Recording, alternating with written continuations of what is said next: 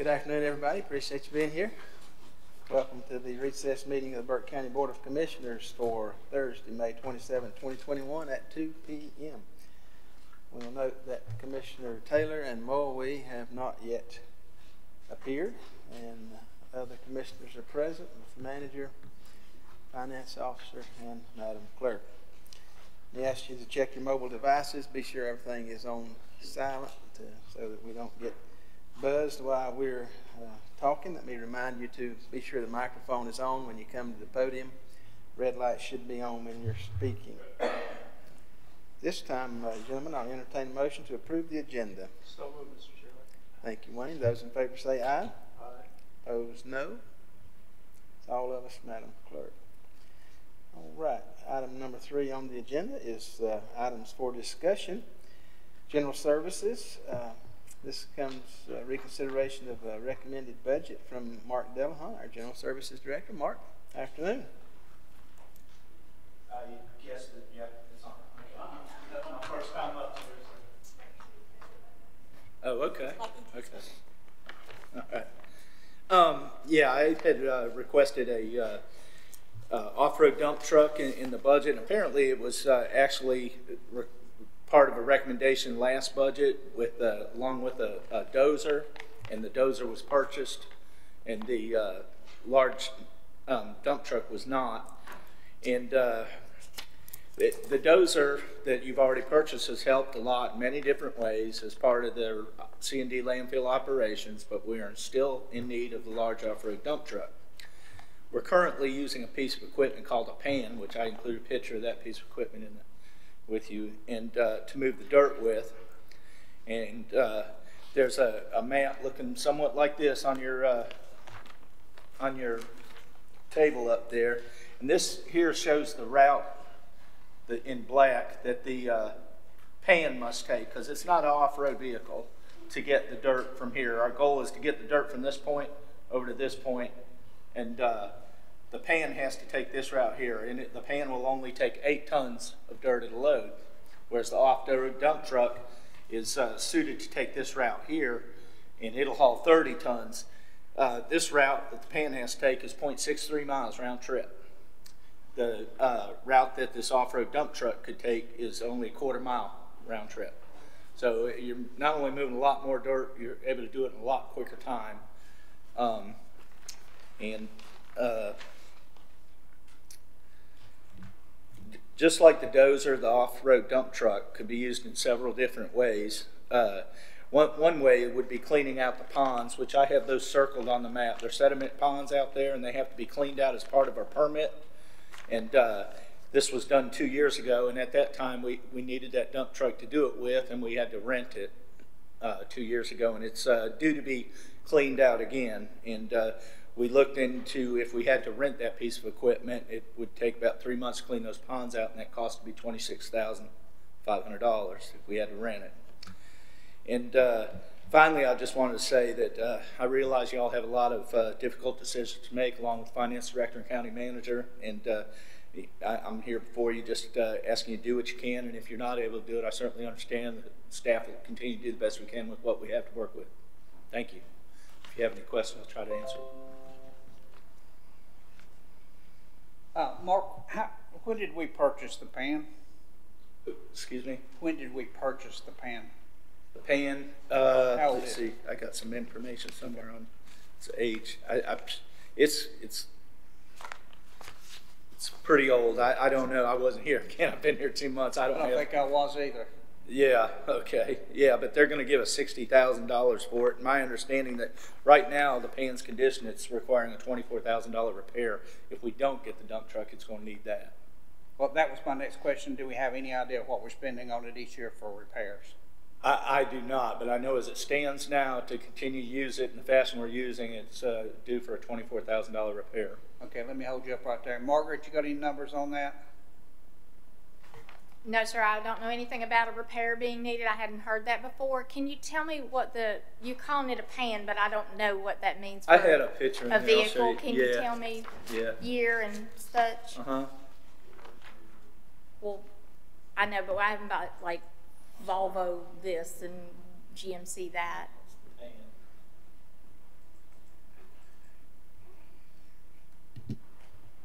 So Mark, is the request basically to uh, think I've, I've got the message now, we're gonna get rid of the pan for the dump truck. Yeah, the uh, person we're buying the dump truck from said they'll give us sixty thousand dollars for it as is, as a trade-in, which would bring the, uh, equipment purchase down to three hundred and six thousand dollars.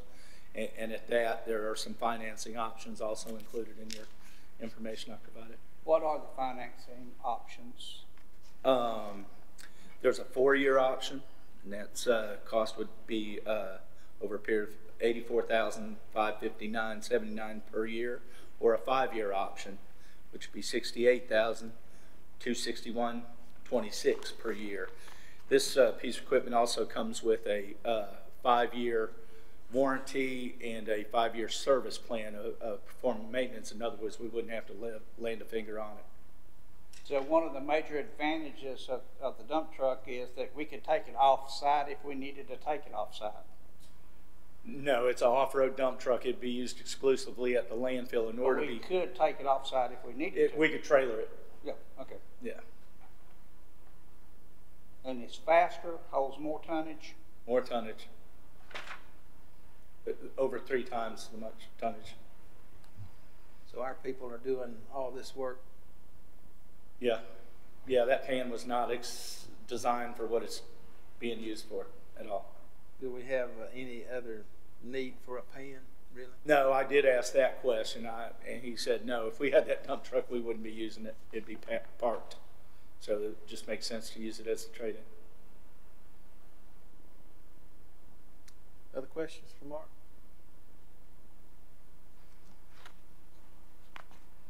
What's the pleasure of the board?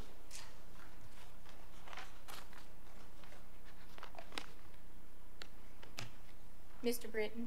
Yes, ma'am. Um, there would not be funds in the, uh, solid waste budget for this, so if you would like to add it, I just want you to be aware it would be added as general fund, would have to fund that. We would pay for it, uh, through general fund dollars. And how would you best recommend, uh, Margaret, if we were going to buy it, how to buy it? I would not recommend the financing. We'll just use general fund, fund balance in order to pay. And as far as the trade-in goes, there are very specific rules about that, and we would not consider that in the price. We would need to budget the full amount.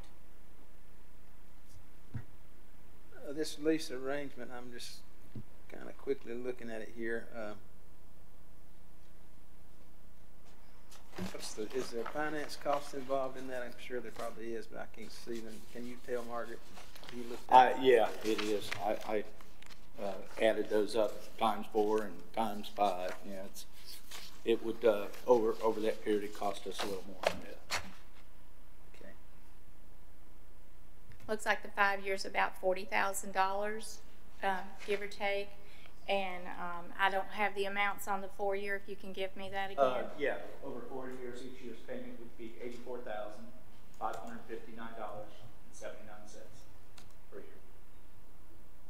That would be approximately thirty-eight thousand.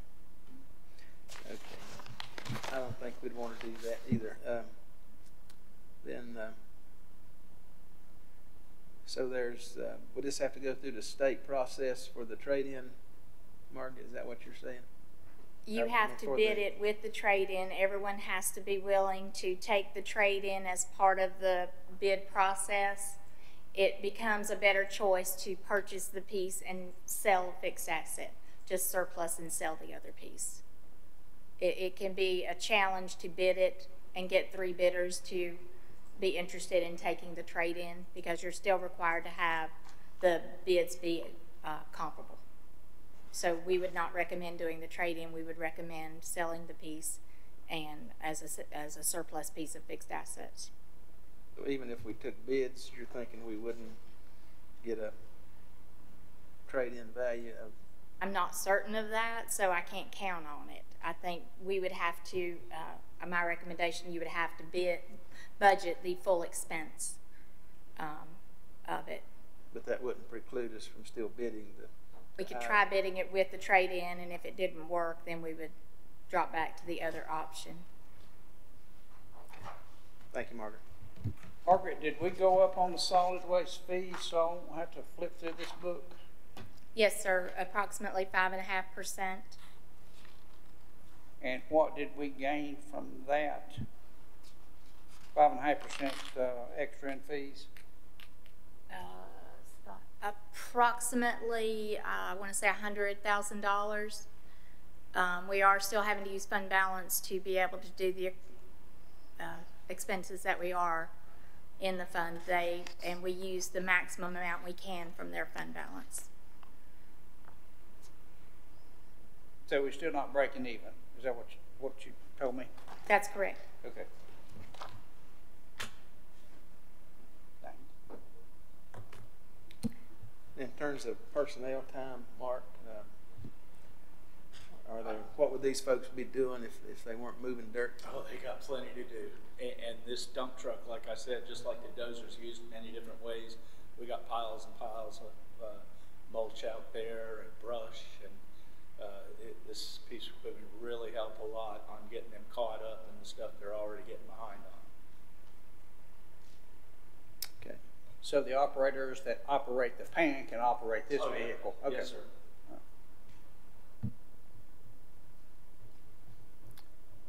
What's your pleasure, gentlemen? I'm, I'm inclined to, to, to move forward with this. Jeff, I probably shouldn't vote on this, Mark, and my son-in-law, I probably should step this. I think you should vote. Um, It's all right with you all, but I just want you to know. I, I don't have a problem front. with it whatsoever. You're a commissioner and you have a, you know, you represent everybody in this county. I think you ought to go ahead and vote. I'm in, I'm inclined, Mr. Chairman, to move forward with it too. Okay. Likewise. Okay, all right. Let's, let's add this item to the budget then, Mr. Manager, Margaret. Thank you, Mark. Thank you.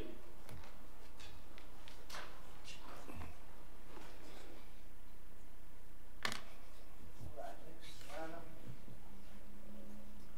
Uh, this comes from the sheriff, rec- uh, reconsideration of, of recommended budget. uh, Sheriff Wilson, afternoon, sir.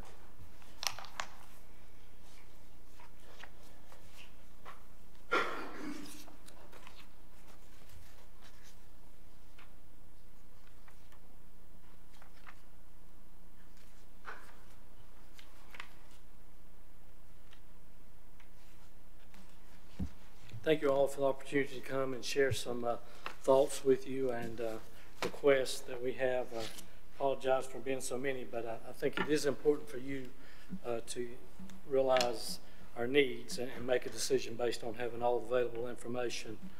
Um, Item one is uh, a request that you do fund Smith, Rogers, and Aldridge Legal Services. Um, I- I'm not going to read all of this, but I can just tell you that uh, that's probably one of the best uh, monies that we've ever spent. Um, They have helped us tremendously since September uh, 2020.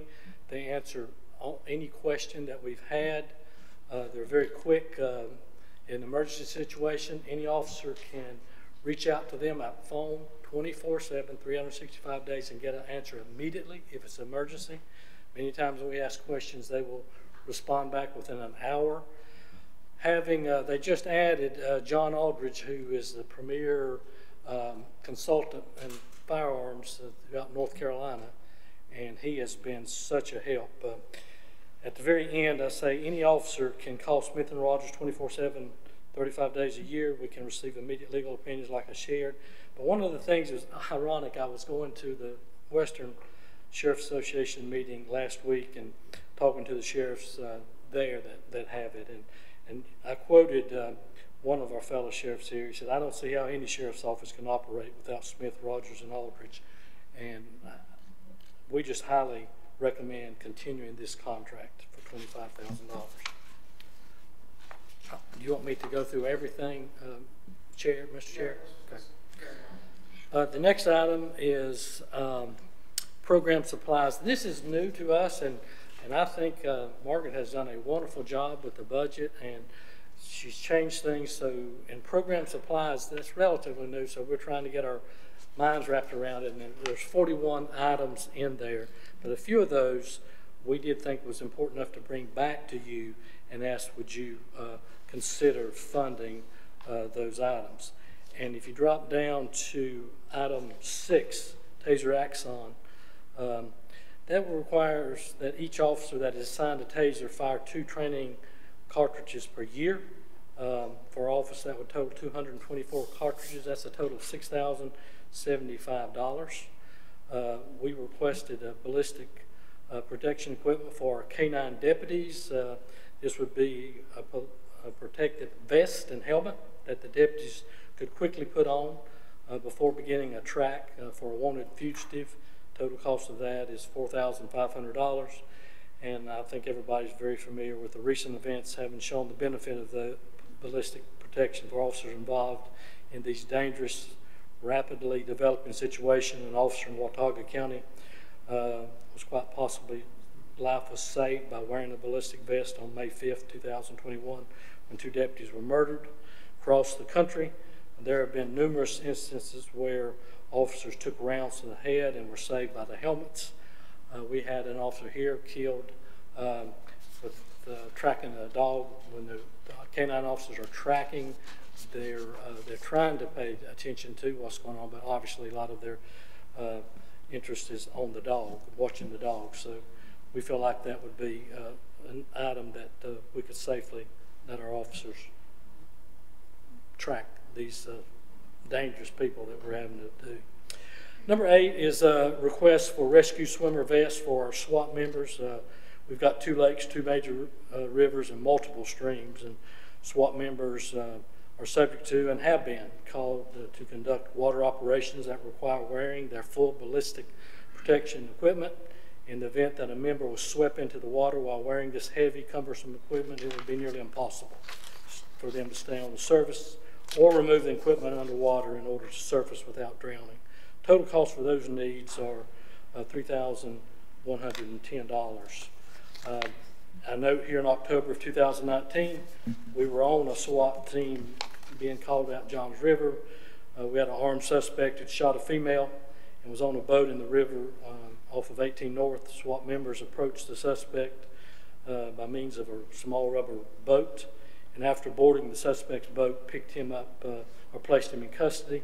During that event, a SWAT member almost fell into the water, uh, getting to that uh, boat, and of course that would have uh, probably resulted in tragic consequences. Um, I don't see us getting any less calls like this in the future, and SWAT members are all going above and beyond already. We're just trying to protect them as much as we could. Number nine, we're requesting four replacement uh, heavy entry vest for SWAT. This would be a start of replacement. As you're aware, the vests do expire over time. So we wanted to start replacing these vests that are expiring. The total cost for that would be $14,000. 10, we're requesting a replacement cycle to hire uh, for bulletproof vests. That's again for new, new hires and to replace the bulletproof vests that, that all of our deputies uh, wear. Number 11, uh, we originally requested 10 new patrol rifles and 10 new patrol shotguns. Again, this is just a replacement cycle that we want to get on in, in light of uh, all the requests that you have, and, and I know they're overwhelming number. Uh, we could scale that back and replace five rifles and five shotguns this coming fiscal year, but we really need to get on the replacement cycle for those. Um, as previously mentioned in these items 6 to 11 listed, uh, above will mitigate civil liability and protect officers.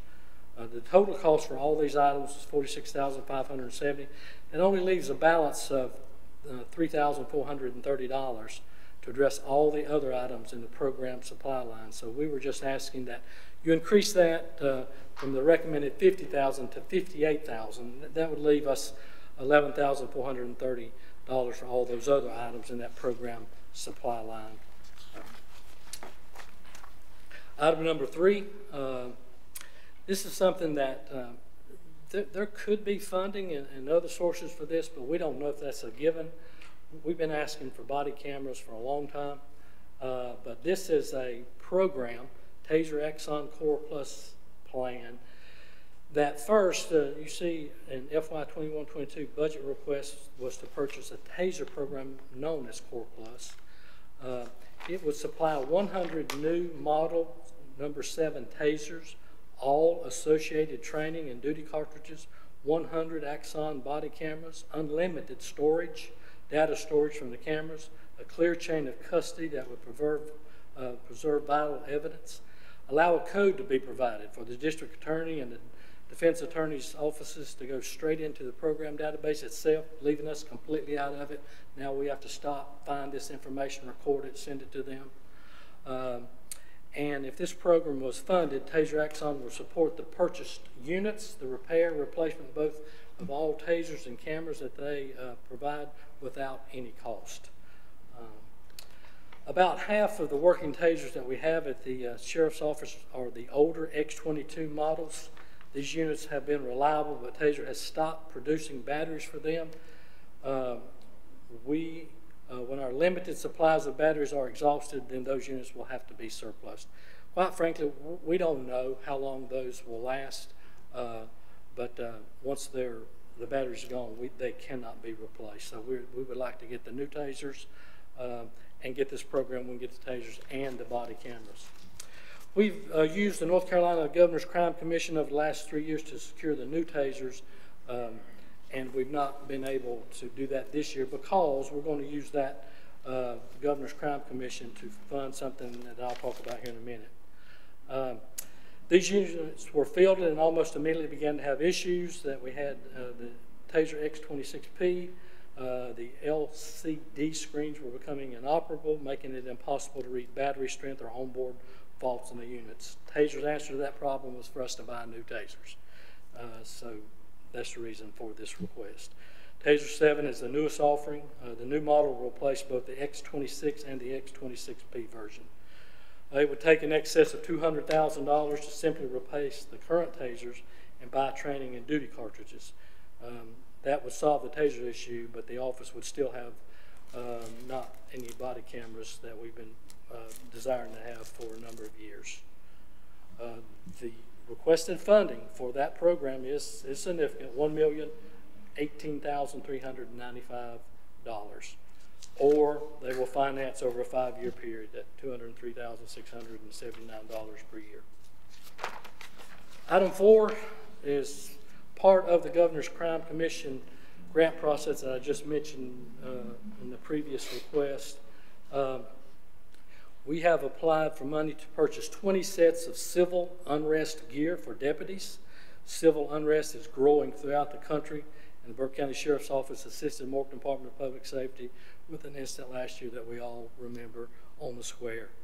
The Sheriff's Office is part of a regional mutual aid system made up of the 100 sheriff's offices who will assist each other in the event that civil unrest occurs within the region.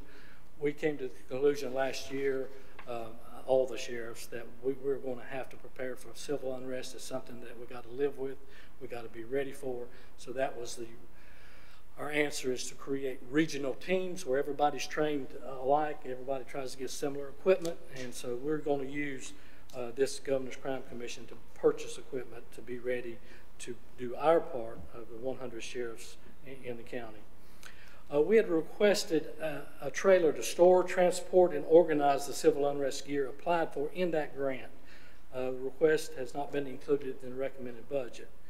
Any type of civil unrest events tend to be fast developing and a drain on resources and manpower. Having a trailer to store, protect, and organize vital equipment is a component of a successful program. Equipment that we intend to purchase through the Governor's Crime Commission grant includes bulky items such as shields, body armor, batons, and gas masks. We also need the ability to contain and transport quantities of 40 millimeter gas munitions and the guns used to project those rounds. Individual deputies simply cannot, uh, doesn't have the means to store, transport, and safeguard this type of equipment. Uh, we, we realize we need to have one location uh, to store all of that. Another key consideration is that this trailer would remain ready to go. It would be simply the matter of hooking up a vehicle to the trailer and proceeding wherever the civil unrest is occurring. We also use the equipment and trailer to respond to incidents within our jail. Uh, last night, uh, as you, are probably aware, we had an incident where uh, we had some serious uh, concerns about having to um, evacuate the jail. If we'd had a problem and those doors, rather than keeping people locked, had opened up uh, automatically and we had uh, all of those people out uh, in that jail, uh, we could have had a, a very serious issue, and, and we would have this equipment that we could use in a situation where we have civil unrest in the jail. So we would respectfully request that the trailer with a cost of twenty, uh, excuse me, six thousand two hundred dollars be reevaluated and funds be enabled us uh, to safely protect our citizens and our property. Last item uh, is the jail uh, request. Uh, Utilities, uh, $167,500 was requested. Um, $150,000 was recommended, and of course, that's a $17,500 shortfall. And our requested amount was based on the billings received to date, and we can only anticipate those billings will either be staying the same or increasing. Uh, so we would request the original request of $167,500 uh, to be able to pay for the utilities next fiscal year. Number two, uh, maintenance and repair, building and gr- 160,585 requested versus $75,000 recommended, eight- $85,385 shortfall. Um, The shortfall is explained by the disapproval of our request for parking lot fencing, patio cell repairs, and decontamination of cell cost. We're requesting that the patio cell repairs be approved as damage to these three cells cannot be prevented and repairs must be made to restore the integrity of those cells. We're also requesting that the decon- decontamination of cells cost be approved. Recently, Sheriff's Office had to pay uh, $4,500 uh, to decontaminate one of our vehicles. We arrested somebody, had fentanyl uh, on him. He put the fentanyl down into the back seat. It- One of the bags burst open. Uh, There's only a few people that do that, uh, and it costs $4,500 to decontaminate that car. As much as we try not to get drugs into the system uh, or to the jail, occasionally they do get them in there, and you can only imagine the cost of uh, what happens if we get fentanyl into jail uh, and have to decontaminate uh, a few uh, cells or maybe a whole pod. Uh, the approval of these two items would decrease the county manager's recommended figure by $33,500 for a total recommended figure of $108,500. dollars. Um, communication wireless system, we had requested $5,600. Uh, verse uh, 4055 uh, that was recommended leaving a $1,540 shortfall. Our requested amount was based on billings received to date. we cannot reduce that cost without canceling three of our cell phones. Those cell phones are used by supervisors and on-call employees for maintenance and transport and, and, situations like we had last night. Uh, for safety, emergency, and efficient, we should not reduce the number of cell phones and request that our original request of fifty-six hundred dollars uh, be recommended. Um, Staff travel, number four, uh, we request eleven thousand eight hundred dollars. Uh, was recommended thirty, seventy-three hundred dollars. Uh, Thirty-five hundred dollars of this shortfall was requested to send five uh, attendees to the annual North Carolina Jail Administrators Conference in an effort to recruit, retain, and offer opportunities to further professionalize our jail staff. We request this cost be approved. Jail courses and training opportunities for detention staff are already significantly limited, and this training is an effort to improve their opportunities. Approval will increase the county manager's recommended figure by thirty-five hundred dollars for a total recommended figure of ten thousand eight hundred. Program supplies, uh, we requested one hundred sixteen thousand four hundred and ten, uh, seventy-five thousand dollars was recommended. Uh, this ninety-nine thousand nine hundred dollar shortfall uh, was to request the purchase of ten uh, radios that we use in the jail. Um, these are required as a part of our process for maintaining safety and security in the building, staff and inmates. Uh, approval of these items would increase the county manager's recommended figure from nine, nine thousand nine hundred for a total recommended figure of eighty-four thousand nine hundred. Also, in equipment-wise, uh, under number six, um, we had requested $191,000 in equipment. Uh, no funds were recommended. Um, Thirteen thousand five hundred of this shortfall was requesting the purchase of two uh, APX eight thousand radios. Uh, That will be for uh, only form of our communications with the outside from the jail in the instance of the phones, internet outage that we've experienced multiple times, including uh, an outage uh, Monday, the 24th of May, from 11 a.m. to 7 p.m. when a fiber cable was accidentally cut somewhere in Morganton. Of course, as recently as last night, we experienced a significant dangerous situation uh, with not having adequate, adequate communication from the inside of the jail to the outside. Uh, with these two radios placed in the control room and booking locations, we would at least be able to communicate with fire, EMS, and other outside the jail uh, directly. Approval of this item would increase the county manager's recommended figure by thirteen thousand five hundred dollars. Uh, Then number seven, salaries full-time. Uh, We had a sixty-one thousand eight hundred twenty dollars shortfall. We were requesting the approval of the additional lieutenant's position that uh, we appreciate you giving us the ability to do that uh, in this physical year. If you turn the page, you'll see the justification. Um, we will provide the jail with full-time uh, training, this lieutenant, if you continue it, it'll provide the jail with a full-time training coordinator certified as a training general instructor and OC spray instructor. It allows for quicker training of staff, alleviating the training workload of shift sergeants and corporals. It provides another lieutenant for on-call rotation schedule for current jail staff. It worked wonderful last night. We had two lieutenants stay until we got the situation under control uh, there. Provides the jail with another sworn officer who will have the ability to assist with serving papers on current inmates, performing local transportation of inmates, and other duties requiring, requiring a sworn officer. Uh, Lieutenant is currently in this position and has been so since February 15, 2021, um, as again approved by you in the remainder of 2021 fiscal year. Uh, during that time, he's uh, reorganized the supply room, transported inmates, served warrants on current inmates, sometimes to include fingerprinting them, commence training initiative, including actions to be taken by the officers in the event of a fire alarm and uh, being triggered, and daily training of newly hired detention officers.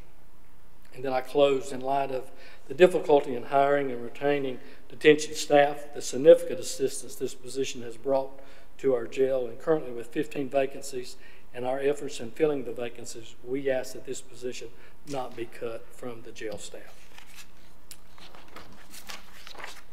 I'll answer any questions that come. All right, thank you, Sheriff. Okay, guys, let's go back to, uh, uh, take these one by one if we can. Uh, Any discussions on, the uh, first item, which included a number of things? Uh,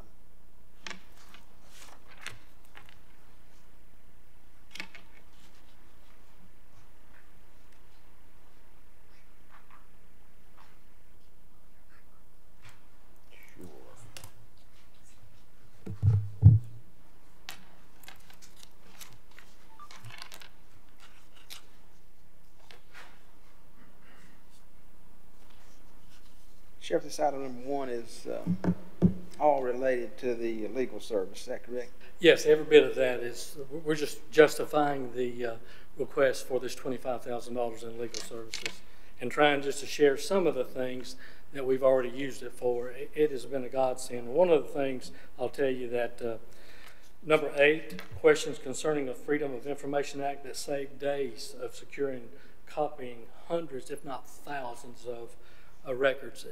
Ironically, this was the day uh, that uh, one of the attorneys came up to introduce us to the program. Uh, and we asked him about a request that we had just gotten, along with every other sheriff. He told us exactly who the person was. He told us what the request was. He provided us with a letter to send to the requester. He said, You will get a letter that states X. Here's a second letter that you send uh, to that person. Uh, and it just fell right in line. We had to provide no records, and we, we were assuming that we'd spend at least a week getting these records. So in our minds, he, he paid for himself that day, the very first day that uh, they came up explaining the program. Any thoughts on this item?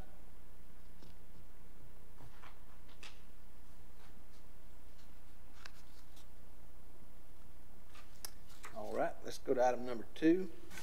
Um, This item, several items here. Sheriff, kind of in, in, along the same lines of number three, uh, well, item number three, I guess, is mainly new tasers. That, that's the way I should interpret that. Um, Yeah, and it may be helpful to understand that if you just eliminate item number three, we still have the TASER program uh, that we're, we're struggling. We're going to have to do something to replace these tasers that are becoming obsolete. So we wanted to give you that information on the cost, uh, uh, number six, uh, for purchasing tasers and the cartridges. Another thing, if you, if you buy the program that's listed in number three, all the taser training cartridges, we have to use two per officer, uh, is free. Uh, and there's just no cost. Once you purchase that program, you're, you're done. Now, it's different, and we tried to show you what the cost would be if we just replace our tasers, uh, in item two, number six, uh, what the cost will be. All right, I guess the, the couple things that I would like to, to, speak to is item six. Uh, seems like, um, that's an item that we, we need to, to deal with. Uh,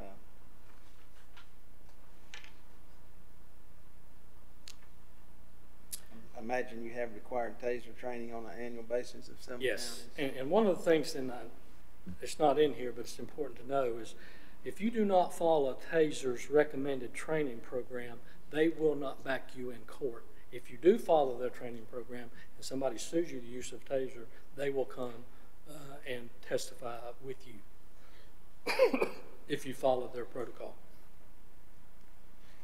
Then item number seven, that's pretty much, uh, K-9 protection, is that, am I reading all that correct? Yes, it's, it's really just for the canine officers when they get out, um, especially, we've thought about this for some time, but with the two Watauga County deputies being murdered and then the guy actually pulling one of them out and was shot in his helmet and, uh, obviously probably saved his life.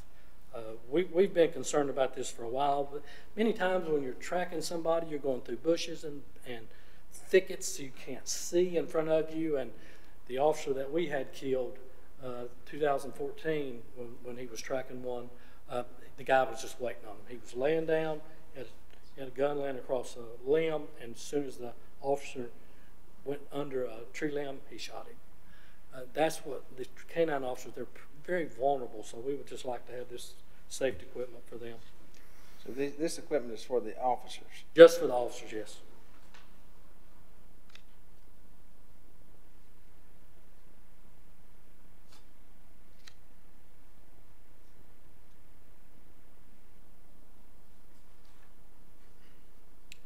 What, what are requirements for, do, do vests just wear out because you put them on and off and wear them all the time, or are there any kind of uh, specified And I'll expiration dates? anybody here that wants to, Five years. The base are warranted for five years. They said that you should replace them because of the, the elements of sweating, the moisture breaks down the Kevlar supposedly, that's what they say. They made them for five years. Anything after that, they, they, they say they're out of warranty.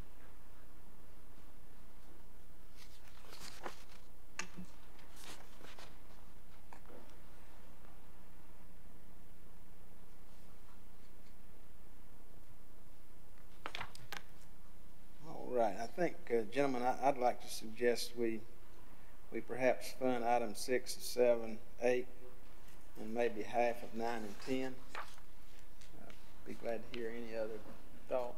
Sure. Uh, on the jail positions, the vacancies, is that money put away someplace uh, uh, for, for that in case we hire, or what, how does that work?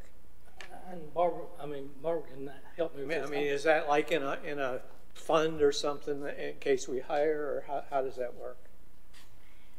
No, sir, currently it's being used to this year to fund the increases that were approved in March. Those vacant positions were able to fund that.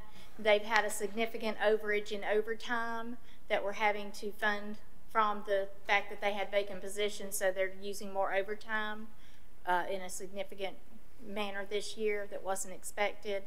And the, also, we also funded the uh, HR specialist to help them recruit for this March to June year. So But at any point, it's not set aside and kept from year, fiscal year to fiscal year. So it looks like it's gonna continue because, I mean, how many years it- you went without a full staff? I mean, it just goes on and on and on. So we, we can just look at those fifteen vacancies and say, you know, but I, I didn't know if that money went into a special pot for the sheriff's department or, or what. But, uh, you know, that, if, if it went into a special pot, that would help fund some of these things that they need. No, sir, and uh, with your permission, uh, Chairman, I would explain, within the program supplies funds, we don't tick a list and say which ones are eligible and not. We provide an amount of funds, Right. And they choose which items within there they want to purchase. So if, if we funded some, some of the things that are on, on this, uh, on these pages here, that, that would come out of that money though, that sort of, I wanna say put away or whatever for the sheriff's department. There's rarely leftover when you're using it for the overtime and other things. There's, there's not, um, So we're saying that this, is all this would be new monies then? Yes, sir. Yes, sir. And within the fifty thousand that they're approved, these things, some of them could be purchased with that. We haven't denied these specific items. And, and I think for clarification, what we did is went through that, realizing what we thought we were gonna spend. We think that what we brought before you is items that's really needed. So when we added those items with what we think we're gonna spend, we were about eight thousand dollars short. So we were just asking for eight thousand additional monies in, above what the manager, uh, recommended. Uh, so, So, so Steve, in other words, the, everything on this thing, you're just asking for eight thousand more? Yeah. What, what we did is went through it and we just cut it as, as to the bone. And, uh, the finance person, or Captain Robson, he, he says, I, I just don't think that we can do these things that we listed for you this morning or this afternoon if we don't have an additional eight thousand dollars in that fund. Well, if it's eight thousand dollars, I personally, I'd be for that, I mean, that's, when, you read this, it sort of scares you to death. I mean, it scares you to death the money's in here, but if you're talking about eight thousand dollars, I don't have such a s- heartburn with that. When we say eight thousand dollars, is that for items nine and ten combined? Yeah, Well, that's where I think I'm confused at this point, uh, Sheriff. Um, Up at the top in number two, you, you, the request was hundred and thirty thousand six oh four, the recommended budget was fifty thousand.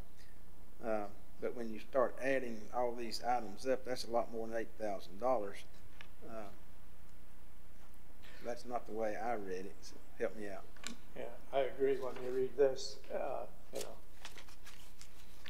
And I wish Jeff was here. He's, he's not available. Let me look at something right here. I mean, if eight thousand dollars, I'm with you, Wayne.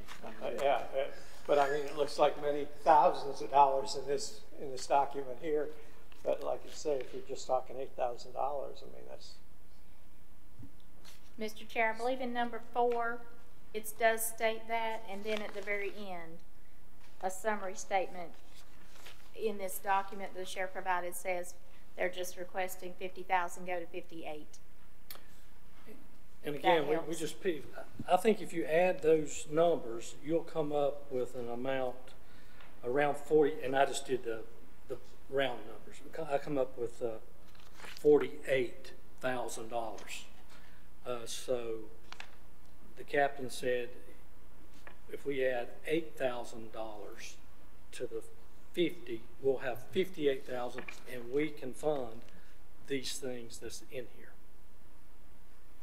Okay, we okay with that? Well, I'm still mixed up a little on these numbers, Jeff. When you read them, it looks like thousands of dollars here. and I- Right. I can't quite You can figure out you how can that. fund part of those things in there. You're not gonna fund them all. It's obvious that they are huge dollar amounts in each one, six, seven, eight, and it doesn't come up to fifty-eight thousand dollars. I don't know what Jeff did. I think he was assuming that, it- you know, if we go from fifty to fifty-eight, you'll take and spend on all the things that, I think he's gonna rank them probably as what he wants first, second, third, fourth down the list, but he certainly can't buy everything on that page for fifty-eight thousand dollars, obviously. And What I did. Is there anything coming out of the General Assembly as far as the Governor's Crime Commission or anything else that, extra monies that you know of at this time?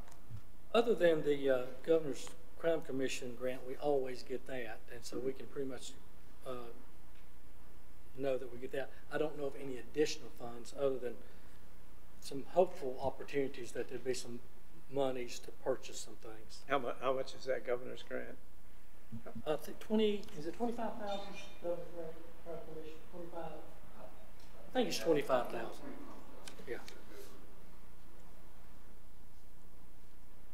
Okay, uh, we'll, we'll go with the eight thousand. I'm, I'm, I'm still, when I, I- when I add all this stuff, I, I can't make the numbers work. Uh, You can't, it won't work.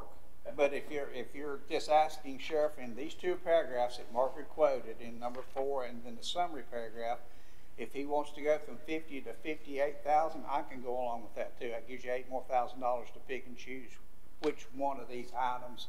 I would rather, if I'm looking at item number one and number two, I'd rather you have whatever he can buy with fifty-eight thousand dollars. I know you want the attorneys, but I'd rather see you have vest and, and use the monies as far as you can make fifty-eight thousand. However far you can make fifty-eight thousand dollars go, that's what, I'm all that's right with you that. do. Yeah, and, and the way I, I did a quick addition, and I started with number six, and six thousand, four thousand, three thousand, fourteen thousand, thirteen thousand, five thousand, three thousand, and that's all I really see here. Uh, then on number eleven, uh, five thousand, and then it comes up, I, I've got forty-eight thousand dollars for what he's listed. I can't make the numbers work, Steve.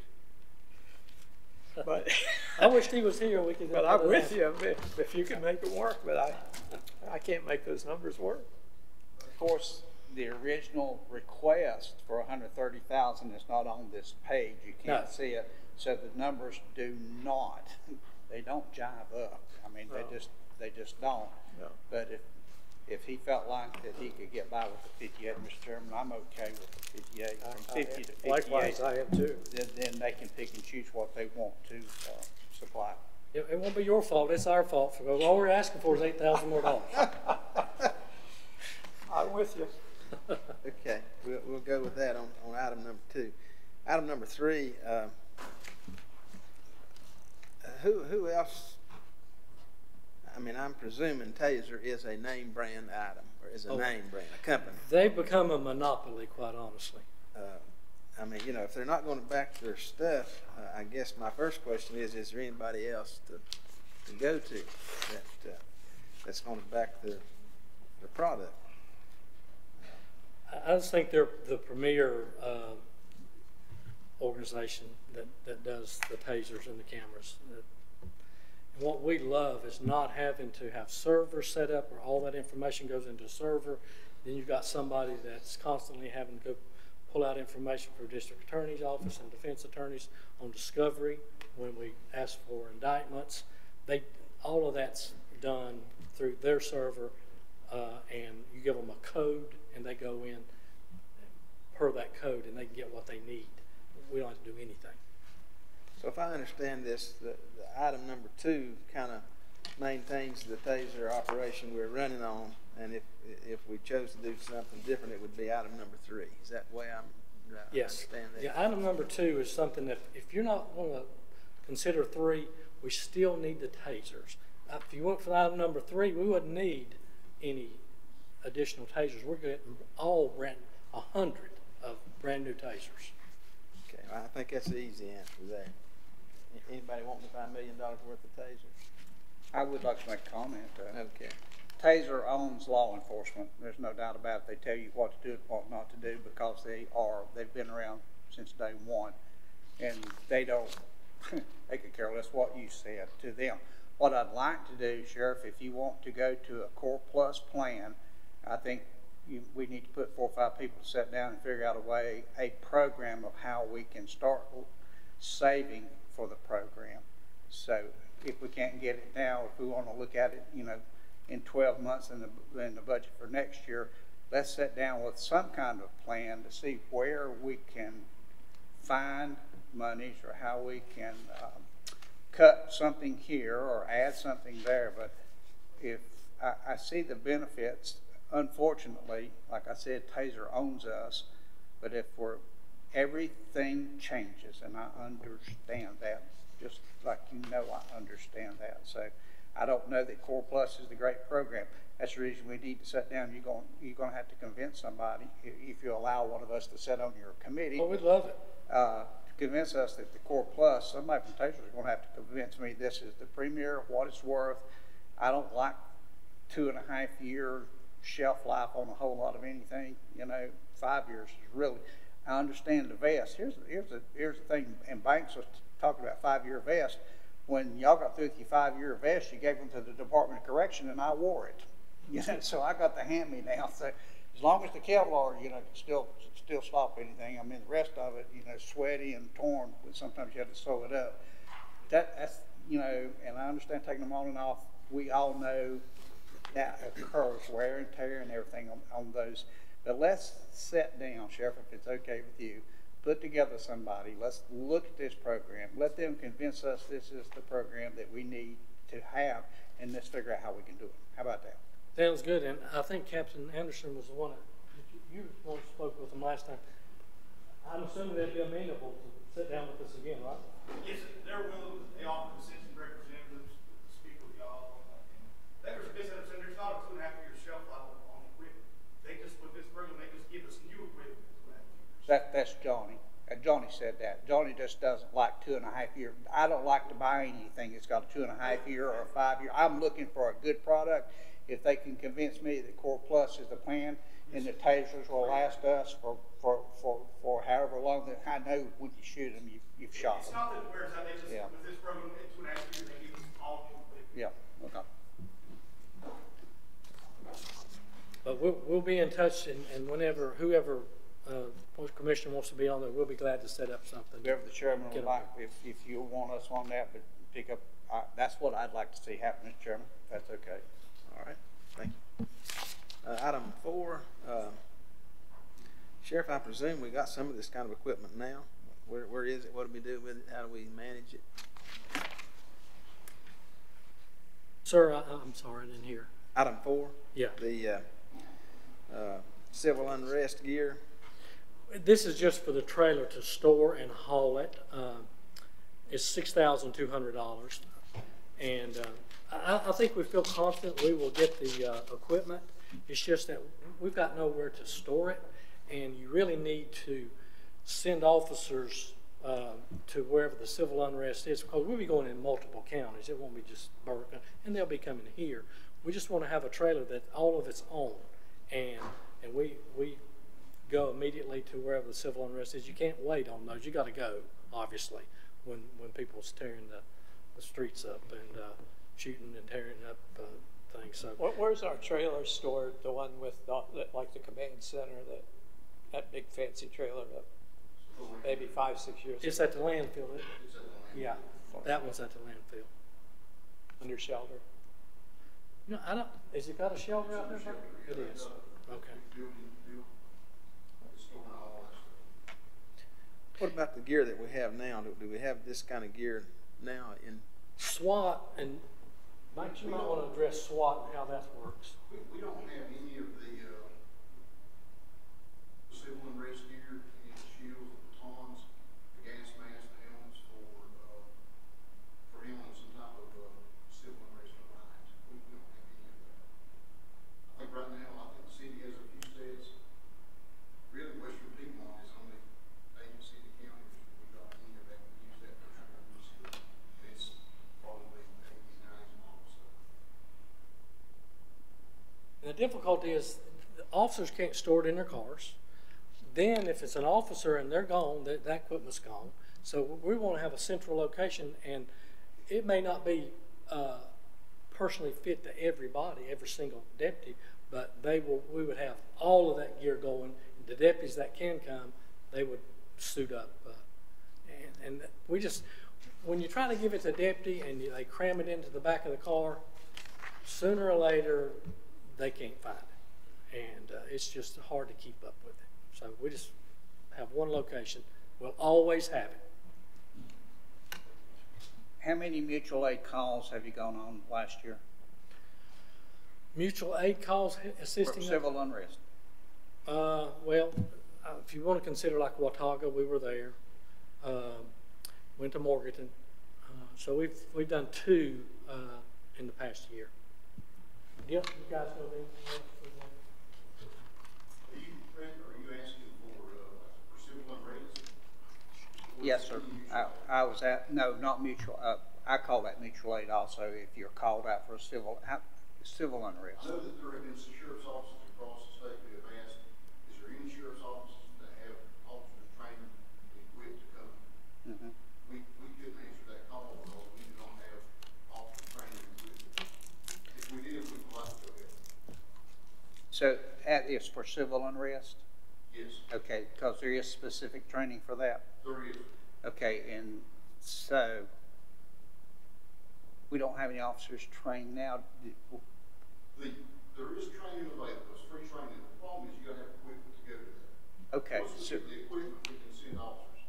The idea is to get how many officers we can get equipped, send them to training, store that equipment on the trailer, and then if whoever calls, sheriff, we need X amount of deputies, then nobody's at their house or closet trying to find that equipment. It's in that trailer stored, locked up. We can just hook up to a vehicle and haul it down there, and our officers are ready to go to work. okay, That's the idea. Good idea. Mutual aid might not be a great name, but that's what, the way I look at it, we're, we're providing aid to another agency. Do we get paid when we go there? Do, do, does, do they, it's all for freebie? And- And one. Well, and one thing, and probably be better to think of this way, how many requests for un- civil unrest, and we have had quite a few of those. Uh, Gaston County has been out, they've been helping a lot of different people. They've got a county-wide civil unrest team, and they, they've had multiple, uh, civil unrest instances that they have responded to, and, and they would come. Uh, but we, those requests have been fairly, often, but we just, we just don't go because we don't have the officers or the equipment. Does the state have an agency with anything like that?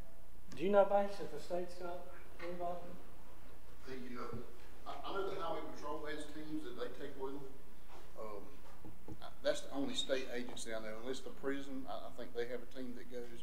The National Guard have people trained, they go. Um, that, that's all the big agencies that I'm aware of that would have those. So, we, we just haven't gone because we don't have people and we don't have equipment. We don't have the equipment, and the training's a big thing. You can't just send people up and say, go stand, hold this line, and they've not had any training. Tra- training's a big part of it. Now, one thing is, if we go and we use gas, and everybody, the idea would be, everybody would have their own gas, the hosting agency would replace that, the cost of that gas, Okay. if we use that, or any impact munitions that we would use. And what the agencies that's been having the issues, and it's, it's primarily the urban areas, that their people are worn out and they're begging for help from other people. You know, they can go stay eight or twelve hours and, and but they're, they're worn out. So that's when you start getting requests, can anybody come help our officers? And so we want to be able to do that. Another thing with the all 100 sheriff's offices, the goal is to be trained alike. The goal is that anybody that shows up, whoever's uh, running instant command, will know they're all been trained alike, and that's through the national. I mean the. Uh, uh, FEMA, FEMA does Yeah. the training. so everybody's going to go to that FEMA training, so you'll be trained exactly alike. Right? Thoughts on this item? Well, let me jump in here one more time, Mr. Chairman, if that's okay. Are we not getting the cart before the horse here? If, uh, why are we buying the trailer now, we don't have the people or the equipment? Pardon me? Are Are we not getting the cart before the horse here? Uh, we don't have the people and we don't have the equipment, so why buy a trailer now? We Want to get the equipment to get people trained and then, well, I think even if you get the equipment, you got to have somewhere to store. Okay. Our sheriff's office, we're, we don't have a lot of space for equipment like that, really. And, and again, we're taking, we're, we're assuming that we're gonna get that Governor's Crime Commission money for the equipment. Now, That's an assumption.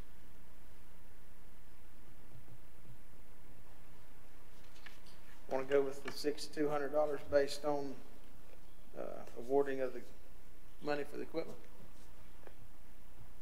Yeah.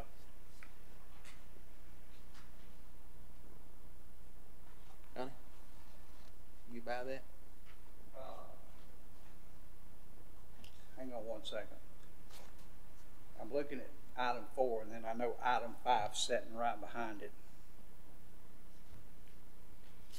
I, uh, I just have mixed emotions. I understand helping each other when we can.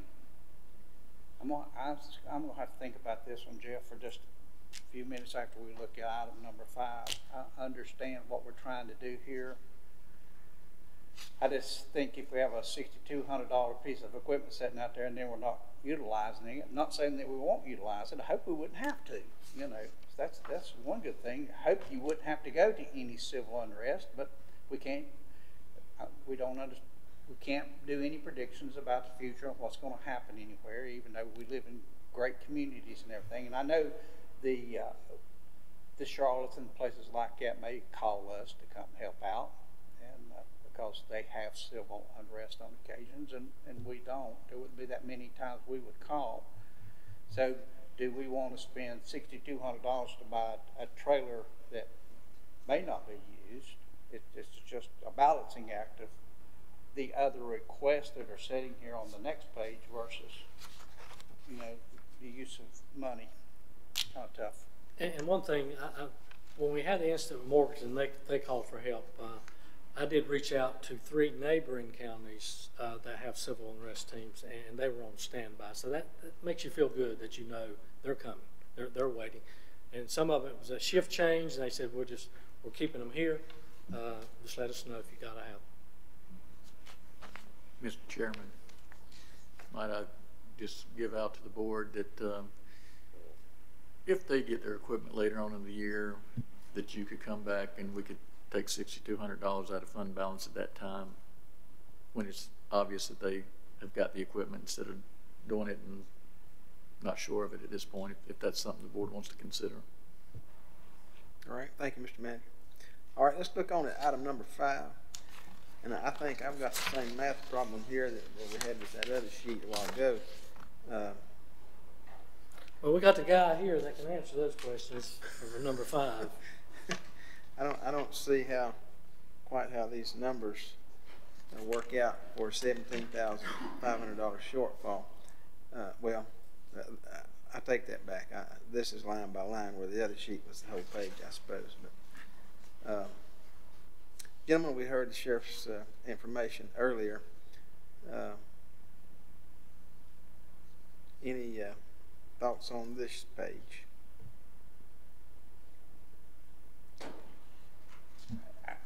Mr. Chairman, if I, if I may, on the very first one, there was hundred sixty-seven five requested and hundred fifty recommended on utilities, saying there was a seventeen-five shortfall. Uh, how do we know there's a shortfall? How, how, where do we figure there'd be a seventeen, what's in the utilities, what's happening there on utilities? That Yeah. we- They need the, the one sixty-seven versus the one fifty. Yeah, the one sixty-seven is what we actually paid out. So we assume that we won't pay out anything less the next fiscal year than we're paying out this year. Okay, Mr. Manager, when, or Margaret, when we looked at that, that was in last year's budget, was payout one sixty-seven five? No, sir, um, the one fifty is based on my estimate of what they need to cover existing bills. Um, the current budget is a hundred and fifty-four thousand, Uh-huh. and we're not on target to reach that, so even with some, uh, rate increases, I felt like hundred and fifty thousand would cover. We may have just done different estimating. under it, but I feel like the hundred and fifty thousand in utilities would be sufficient. And if it's more, we'd, we'd pay it anyway, correct? Yes, sir. We will not cut the lights off. Now Morganton, their whole, no, I'm just kidding. That's Duke. They won't cut the lights off on us. No, sir. Right, that satisfies me on number one.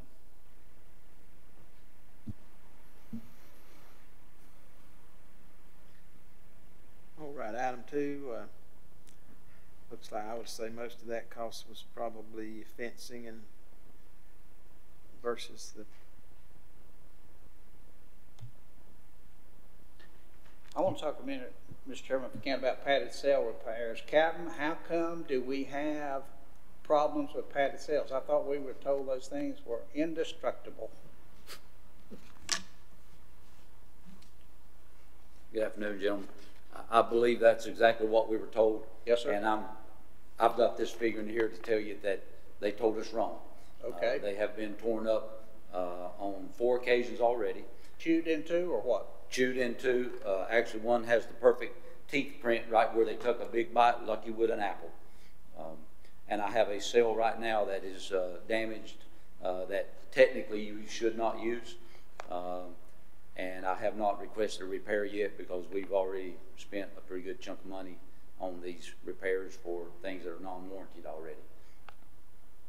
is there some other product we can use, uh, that might be more sustainable? Uh, I'm, I'm certainly looking into that. I have, uh, went down to the former facility. It is a entirely different material. It's almost a Cadora type material. Um, unfortunately, that manufacturer is, is no longer in business. Um, We were told that this was indestructible. And we were told that they were tamper-proof, uh, the sprinkler head would not come off either. So I could, I could share a lot of things that we were told, uh, gentlemen, uh, but We were, we were all standing there when, when Well, they do we need to go back to the, the providers and say, look, this stuff, you know, you need to. you know, So we have no warranty on this right now, is that right, Greg? Uh, that, all the warranties on this building have come and gone, and Okay, all right. But, uh, well, I, I'm, you know, I, I realize the product and warranty, but, you know, who, Well, we shared those, I mean, you talk to any jail administrator, they're gonna say, you cannot put a tamper-proof anything in there. And, uh, well, they actually tore a metal drain out of a cement floor. there, there's a, without going too graphic, a, a padded cell has one item in it, and it's a hole in the middle of the, the ground, basically, with rebar over it. And, uh, they actually were able to tear the rebar out of the floor. Found that it was improperly secured to begin with, and, and they fixed that. Um, but we have a continuous problem with uh, inmates destroying this, this padded cell. And it's quite a, uh, a complex procedure to repair. We end up losing the cell for about a week. That's once they get here to repair, and the company comes out of Florida. I suppose there's nothing more we can do to the, to the guests to uh, keep them from tearing that up. That's correct. And the problem is, and if you look on our Facebook page and see the people we're arresting over and over and over, we arrested one guy sixteen times in a year, we just arrested a guy a third time for trafficking in, uh, fentanyl, uh, they, they continue to get out. Uh, so these little charges for damage to the property is, it, it's not gonna go anywhere. Now, they have made the, uh, indestructible sprinkler systems felonies, right? That's correct. Any, any of the safety or security uh, systems in the jail is now a felony charge. And, and just uh, so that uh, the board knows, uh, we do uh, attach charges uh, for the damages once I can get an estimate, but it's going to be adjudicated as a civil judgment, and we all know how that's going to end up. But I, I assure you, we attach charges to every one that, that I can prove that damaged it. And Margaret has also helped us, we talked about, when we built the jail, putting covers over those sprinklers. Uh, And, and we're gonna try to do that. Margaret's trying to work with us on how to get that done with the existing money, but we're gonna have to put sprinkler I mean, uh, covers over those sprinklers, they're ripping them out. So in, in this item, I think, uh, again, the way I would interpret this, uh, with the seventy-five thousand recommended, uh, these items that, that, you know, you, you, your guys have went through and determined, you know, here's what we think we've gotta have, and, and there's an eighty-five thousand sh- uh, shortfall. And here are some of the items that make up the eighty-five thousand. Is that the way I, I should interpret this? That's correct. If I, if I may, uh, from the previous meeting we had, uh, there's some items that are mentioned in there, fencing, parking lot additions. Uh, I believe my understanding was we were gonna see if we have some funds that are coming forth and, and maybe be able to use those. Uh, is that correct, Mark? Yes, sir. Um, uh, Tuesday, uh, after you had left, Chair, um, one of the things we talked about is anything within the budget that we are looking at the American Rescue Plan funds for. And we, in reading the initial interpretation, we're very hopeful that that fencing will qualify because it will create a social barrier and distance, um, and that looks like it's going to be allowable. So we do believe the fencing that you requested of thirty-two thousand seven hundred uh, may very well fall under that funding, um, which is very similar to the thirty-three thousand five hundred you're requesting that increase. Well, with that said, I, I took all of those things and removed those numbers, and the balance that you have there is to uh, compensate for the padded cell repairs and a, the ability to do a decontamination in the jail or the bus or the large vans, whatever it may be, if we get a, an exposure like we did with uh, one of the sheriff's office cars. Okay. So that, out that thirty-three five, that deconam, decontamination and is just numbers on paper until you'd ever have to do it, correct? That is correct. Okay, but here, I wanna go back to that flipping cell, okay? If we're gonna put the same thing back on it, right? The padding? Well, at this point, that, that, that's our option, yes, sir. And we're in our fourth edition of that, so. But if I may, if, if we don't do that until we can find a, an- another solution, then we don't have a padded cell and the ability to do what jail standard says we have to do with certain inmates for suicidal, self-harm, whatever it may be.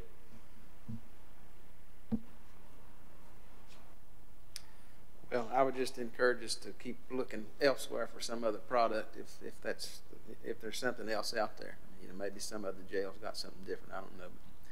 But Obviously, if they're tearing it up that easy, this maybe should be something better.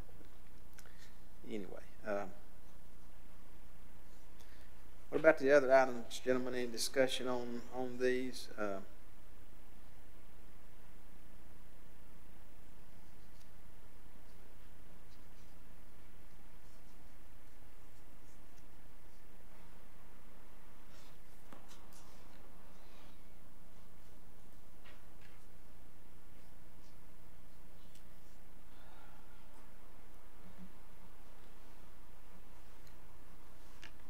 two radios in item six, are, are we saying those radios are six thousand dollars apiece plus?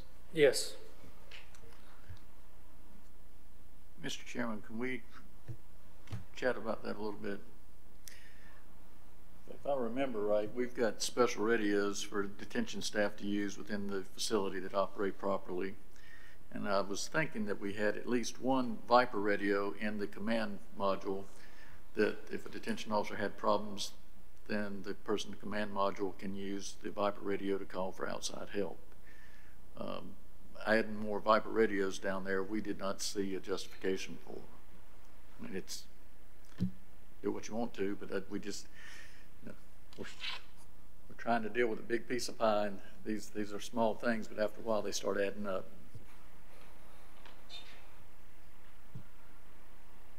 Sheriff, do we have any means in the control room to, when the communications are down, do we have what means would a Viper radio get us out of there? Uh, I'll let Greg address that. Uh, The short answer to that is yes, there were boosters placed, uh, and I appreciate uh, Margaret and folks working with us. We were able to come in and put, now, again, we got to remember that we're talking about two different radio systems, uh, as indicated in um, uh, the uh, Line 5 Uh, That's talking about an internal radio that allows us to communicate and do internal jail operations. Um, The next line is talking about the, the Viper radio that communicates with the, the rest of the world, all the, the cavalry that's coming. Um, We, we need those radios in more than one location because booking may not have any clue as to what the master control tower is seeing or observing or is unable to do. Uh, especially when we lose, uh, as of Monday, we lost all phone operations. Uh, cell phones do not work on the housing side for an obvious reason. We don't want, not that we would ever have it, I hope we wouldn't, but uh, a bad officer bring a cell phone in and try to pass it. So intentionally, we blocked cell phone usage on that side, so that's not an option. Uh, so they are two different radios for two different purposes.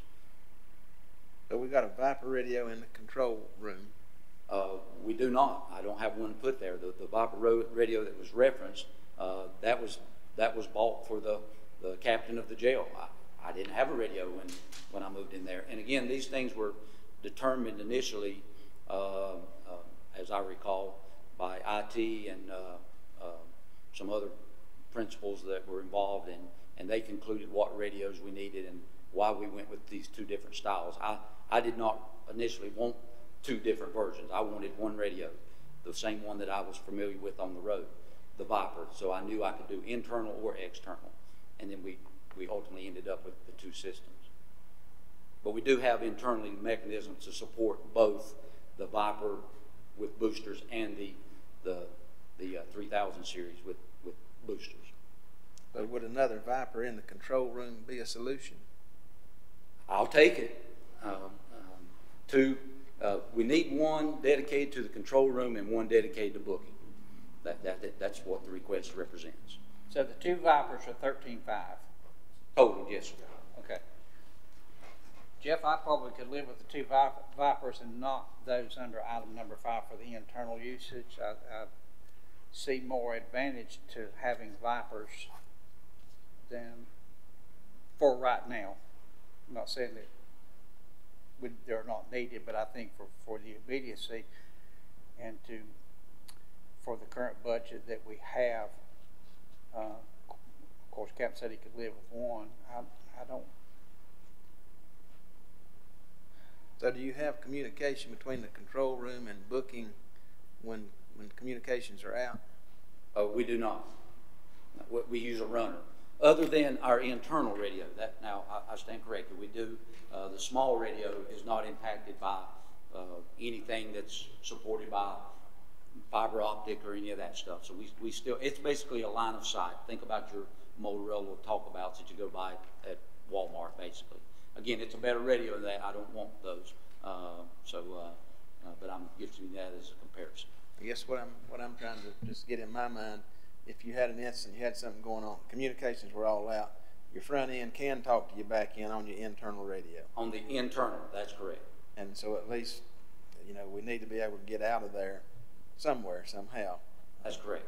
And that's where those two Vipers, again, would support that piece of it. Uh, no different than if, if, uh, we, we lose all that VoIP phone system and everything else. At least that Viper radio would allow the jail to call the road and say, we've got a critical incident, I need some help.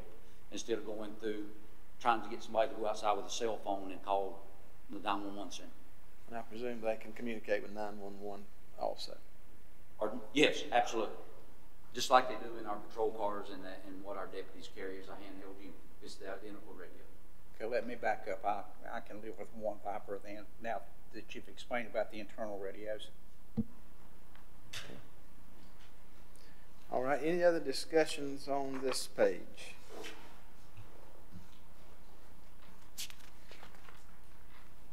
So we're, we're to a radio? Everybody good with that? Anything else you want to talk about?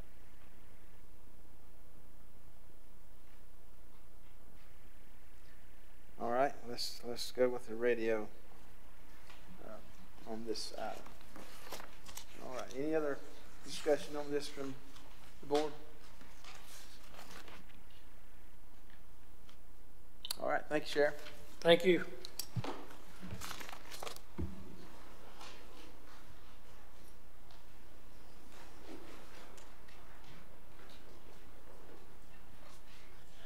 Right, gentlemen, this brings us to item number three, discussions of the budget in general. Uh, And I will apologize for my having to leave early on Tuesday. And so I haven't had a chance to get back with anybody to, to see if some of the items that, that I had just some question about, not, uh, maybe has already been discussed. Uh, Let me first ask, uh, uh, either of you fellows have any items that, that you want to discuss at this time? Mr. Chairman, I do. Somewhere yesterday, I kind of uh, missed something when we, when we were talking about VEDIC. I expected VEDIC to be up in the donation line item because I thought VEDIC was a donation and then somehow it, it came under, it was listed in economic development and I missed it. And I know we had been uh, offering $25,000 to VEDIC. Uh, I think we're at a point with VEDIC that we, we don't need to give them twenty-five thousand dollars. I, I would like to recommend that we, that we give them five thousand dollars. And I know the manager recommended zero, but I'd like to recommend that we give them five thousand dollars and stay in the VEDIC program. But I think their, their balances through USDA and the other associations that they're in, the, the money that comes out, they do provide a service in economic development, but I would rather see them go back to the donation line item instead of showing up under economic development. I don't want anybody to think that they're part of our economic development program, which they are not. They're a separate entity in themselves. So I, I would like to recommend that for consideration.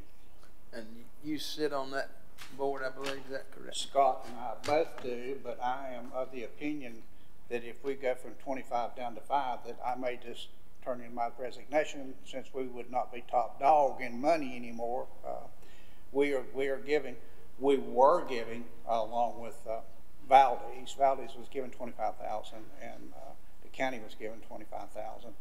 Morganton was giving ten, I believe, and then it went every every municipality in this county was giving some type of money to VEDIC. Everybody. There was 100% participation in that. So, but if we go down, uh, since we're not giving that kind of money, one of us probably needs to come off of that board. The, the beneficiaries, are they um, countywide? Yes. Yes. Okay. Yeah, they, there has been, there has been some good work. I, I would never say that there's, that, that there's a lot of people has benefited from that loan program at VEDIC and, and some of those businesses are still in business downtown because they were, they were given, uh, um, a loan. And if people don't understand VEDIC, there are a number of people that cannot go to a bank and it's because the bank don't want to lend a small amount of money. They want them to borrow millions. And, you know, these people don't need millions of dollars. They just need small amounts to keep them going and keep them in business. And uh, so that's what VEDIC is there for, to uh, take, take these applications and they go through a, a loan review committee, eight people of diversified backgrounds on the loan review committee, review those loans and the credits that are associated with the people that are asking for the loans. And they determine uh, a recommendation and they bring that recommendation to the full uh, VEDIC board and ask them to either approve or disapprove.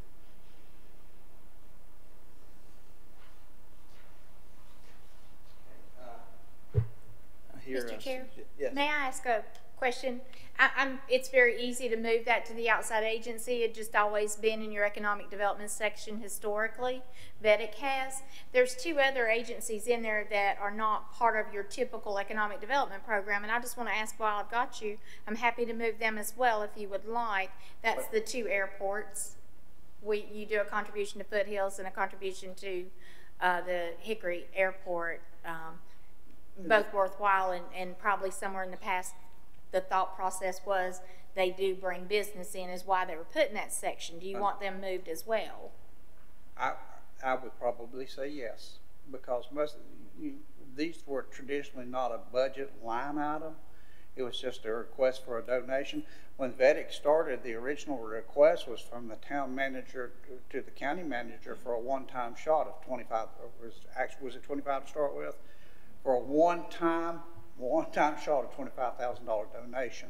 So I, these are actually donations. I don't want to get tied down for somebody thinking they're, they are part of our economic development. It is the Valdese Economic Development Incorporated, something I can't remember, incorporation. So, uh, I, I, it was, I always felt like it was a donation that we were making to support their, their mission. And, but right now, because everybody wasn't in it, currently there is a hundred percent participation by all the municipalities and the county itself. Okay. When you, Well, I, I'm, I'm just happy that uh, we're able to continue our pay plan. That means a lot to the two hundred and eighty-five employees this year. A lot of times you, you talk, we talk about things like this and you get into it a couple of years and it becomes a budget problem, but we, we've been able to uh, keep that up. And at 285 employees this year, that really, to me, that means a lot to our county and, and to our employees. And that shows that we really care. And we got some good employees. Yeah. no comment? I'm, I'm pretty comfortable with the, with the budget, with what we went on today. I'm pretty, I, I know we have people that say, well, it's growing and growing and growing, but that's life. Every, everything is, uh, my business, it's costing more to operate. I mean, it, it's just, that's, that's a way of life. It, it's, it, your, your budget's never gonna stay the same. I mean, or, or you're gonna go so far behind that it'll take forever to catch up. And that's what happened years ago to Burke County. We got so far behind. And, and that's why like maintenance of buildings and different things like that were put aside. But we're on the, we're on the right track. Uh, maybe, uh, you know, people might not understand why we put more money into, in, into county things, but I mean, it, it, we, we got a lot to take care of in the county. Okay, thank you, Wayne. Mr. Chairman, I want to ask Margaret too. Insurance and retirement, which, how much did retirement go up, contribution? One point two five percent. One point two five percent on, how about, I saw some insurances were down and, and I apologize, I didn't write some. That's okay. I saw from last year's budget, the insurance money went down. Is that because of loss of personnel or was there some adjustment? No, sir, we were able to reduce the premium amount that the county puts into our self-funded plan and also reduce the contributions by those that have their dependents on our plan this year. Um, amazingly enough, we have had a good enough history and we have enough reserve that we felt like it was important to pass that savings on to our staff and to ourselves within the departments. We will still, it was a conservative amount. We reduced the premiums thirty-five dollars a month per employee from the counties, uh, what they put in. And then the, uh, plans depended, the reduction depended on which you were under, whether it was full children, family, spouse only, child only, uh, plan. But all of those, we were able to reduce the premiums this year. Mr. Manager, do you think the clinic is uh, still uh, worthwhile and has reduced the cost of some healthcare problems? I think it is either reduced or at least on a break-even basis. Um, It is a great um, tool for us in recruitment. I don't know if you remember Steve Bennett, he had three children, and he talked to me one time about that and told me, he said, Brian, before y'all did that, and I'd take all three of my kids, because they'd all three be sick with the same thing, co-pay for that child, co-pay for that child, co-pay for that child. When he go to the employee clinic, there's no co-pay. That saved him a bunch of money. Mr. Manager, I still have some issues. I have some concerns about capital projects in the future. Do you have, what is your thought process as far as, when we look at that uh, DSS building over there, it's uh, just, I cringe every time we walk through that thing, and I'd say, how are we going to address some of those capital? As Wayne said, we got to keep these buildings going. Well, didn't we just put that big chiller in this year or, or last year? There, there's money, I think, for the continuation of the HVAC there, and I don't know if that can also be some federal funds. I don't know if that'll work, but Margaret doesn't seem to think so. But, uh, again, we are looking to try to use those federal funds once we get the final rules as to what they can be used on. And if we put it in there now, then they would disallow our ability to use that. And I don't know if, if that's really addressing the question or if there's some other things about capital needs. And I know we're looking at a bunch of roofs and some other building needs in, in what we've got approved. We're still trying to set aside monies that we can for these purposes. At this time, we're really not setting aside funds for long-term capital. It is definitely a goal, and it's one of the outcomes we hope to see from our facility and needs study. That when that company, we have a, a interview Tuesday set up for the um, committee that's overseeing that to meet with the high-ranking uh, RFQ respondent we have. Hopefully, we'll be able to hire them and get them started on helping us create a plan for the future. Uh, to where we can say this building we need to start really rolling funds into, we need to start setting aside. They'll come up with our plan and help us see how much we need to be setting aside annually. Uh, but right now, we are not setting aside funds for future building needs of that size. I hope that can be a focus for us in the future is to do that. Uh, in the law enforcement arena, I absolutely understand that it, it's expensive and it's going to get more. Uh, we definitely need to put a focus on how we intend to, it, especially for equipment and things that, that uh, are going away. The, the future, I think, we'll see in law enforcement. There'll be there'll be new types of weapons. Uh, we don't we don't train like we should train. I don't. Of course, we always we we never get enough training. So, and there's no way to prepare for the unknown. But I hope again that there's a way that we might be able to set aside maybe in a fund for law enforcement so that we won't have to go through and it'll come to the day to where we won't have to say no. You know, I'd like like to say I know there's some wants and there's some needs, and uh, we all want some things, but I think that it's been very the sheriff and his staff have been very frugal in their ask, and I would have been doing the same thing, standing up there asking for everything that you asked for knowing that I wasn't going to get everything, but I sure would have been asking. You'd have been not much of a manager if you hadn't been doing that. So I'm, Mr. Chairman, I'm uh, pleased with right now with the budget the way it is. I'm, I'm just I think we're where we need to be, not where I'd like for us. I'd like to do more, uh, but knowing we can't. So I think we, we, we've done everything that we can do. Thank you, sir. All right, thank you, Johnny. I've got several items that, that I'd like to, to just run through, if you'll bear with me.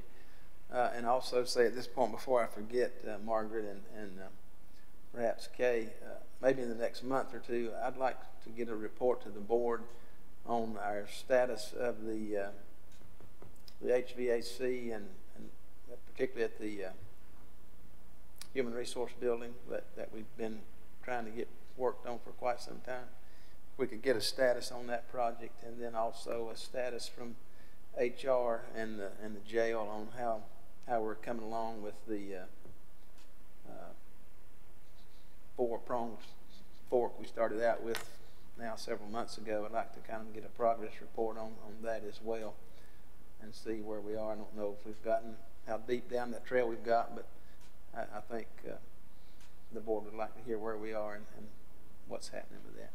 I won't, I won't have you go there today. We, we need to keep moving on to budget. But if you got your budget, if you Mr. Chairman, I'm sorry, is that just like a report or a presentation? Paper, paper report in your report section or presentation?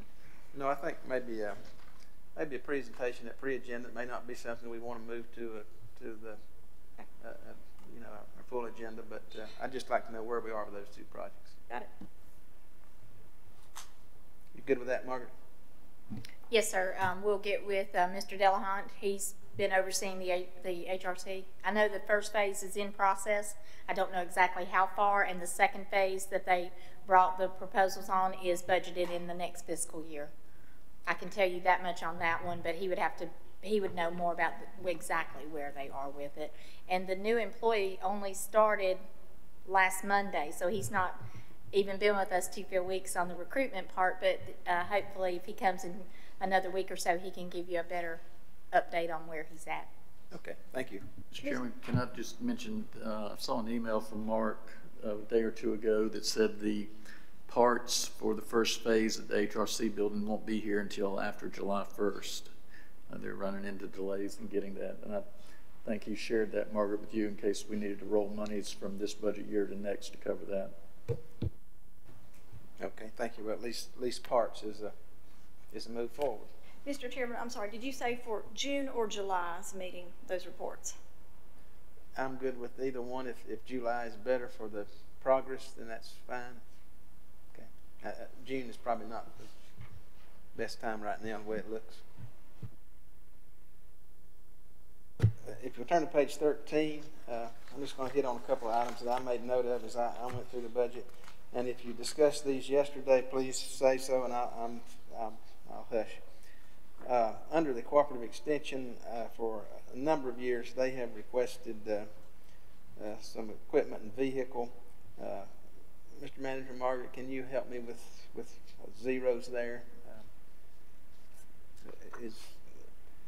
Do we not need to address a vehicle at that location, or have they done something else, or are we doing something else? or- We did speak with Spring on that. Um, one concern was where they would be on enrollment in the coming year, um, and the, the ability to take care of it. The equipment is the first year, but the vehicle is a multi-year request. You're correct on that one. And we were hoping to pass that another year, and hopefully by then we'll know more about, because when we're doing the budget, of course, the restrictions hadn't been released, and we didn't feel like they would have an ability to utilize that vehicle this summer. And it would be next summer before they had their programs back in full swing, but it does appear they're gonna be able to get them in swing a little bit sooner. Um, we had worked on getting them a surplus vehicle last year to use, and um, when it was the week it was being transferred, the engine was blown. And they did not receive that surplus vehicle that we had hoped to give them last year, but of course, last year it didn't matter because they had to suspend all programming. So is there anything possible that we might have that could, we can make available to them if they have some needs uh, in the meantime? I'm trying to think of anybody surplus in a van, a passenger van. The only van that's been surplus was transferred to this year to, in fact, this week, to General Services to utilize for um, a van they requested for their HVAC techs. It's an equipment type van. Um, so we did get them one instead of selling it for surplus. We transferred it. I don't know of another passenger van that would be available in the coming year for them, no. Would leasing a vehicle be a possibility if they had some program that they needed to lease a vehicle for a week or something? Would that be a, that is what we've recommended to them as an option, that for that one week you need it, just go ahead and rent one with budget or someone else and, and set that up. They have worked also with a couple of the churches that have larger vehicles in the past and been able to utilize those to make sure they had uh, someone to transport them. okay, thank you, Margaret. I think in talking with the manager, y'all had some discussion about the manager's salary line yesterday, is that correct? Okay. Uh, uh, We've already talked about Vedic. Um, uh, Margaret, page eighteen, Brian, uh, eighteen percent increase in the salaries line, it looked to me like in uh, emergency medical services. Was there uh, uh, something specific there that made that up? Yes, sir. That's, they have, we moved four new, we put four new, recommended four new paramedics. Uh, that had to do with the Jonas Ridge Station, station predominantly. Uh, when that was set up, it was set up the Jonas Ridge would provide a person and we would provide a person just to see how it went. Unfortunately, over the years, their uh, enrollment has declined and they don't have the qualified persons to assist within their roster anymore. So we've been ensuring that the citizens are served by sending up staff who, which then are either on overtime from another shift or trying to utilize part-time, but it's a challenge to get enough part-times there. So part of this increase is for four paramedics to fully staff that station. However, we really anticipate a decline in their overtime expense to cover a significant portion of those positions. This department was also in the pay study this year, the pay plan, which is roughly $280,000 of that salary increase. They were significantly off market. Okay, thank you.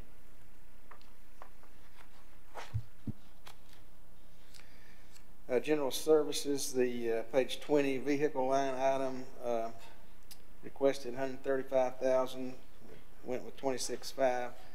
Uh, are we, do we have any discussion there? Are we, what are we thinking about vehicles? I know we had new people coming on, sounds like we moved the van already.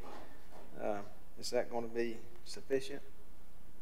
One, the request was for four vehicles. One was for the director, one was for the assistant director, one was for the HVAC tech, and one was for the electrician. We were able to provide a vehicle for the HVAC tech that should meet their needs, he felt like. Um, we were able to provide a Ford Ranger truck that environmental health was surplusing for the director's position, and we provided one other vehicle for the uh, assistant, for the, excuse me, for the other technician. That's gonna be pretty cheap vehicles, like that, twenty-six five. I believe it's a Ford Ranger truck that they wanted. No, I'm sorry, that's an economy van. That's the Econoline van. I thought I heard two or three vehicles there. The others were surplus that we're transferring in instead of selling. Our sale of surplus is gonna be a little bit down in revenue this year because we're trying, those vehicles that are still good enough to stay on the road, we're shifting from one department to another. We'll still sell the others, but they're not, they're not good. Okay, I just, Mr. Chairman, stop there just a moment. While you're talking about vehicles, what about the ones we got on gov deals, all, all the old sheriff's office vehicles? How many do we have out there to still sell and get rid of? We have approximately 20 that the sheriff's office is surplusing. Okay. Uh, We are waiting to receive the uh, paperwork and keys on those. They have been identified during the past few months by the sheriff's office, and we had, uh, we are trying to get the seals off, uh, and we'll be having them, they probably won't go up to sale until the new fiscal year, but we will get them up for sale, but we, it's just a process. And where do you put that money when it comes in?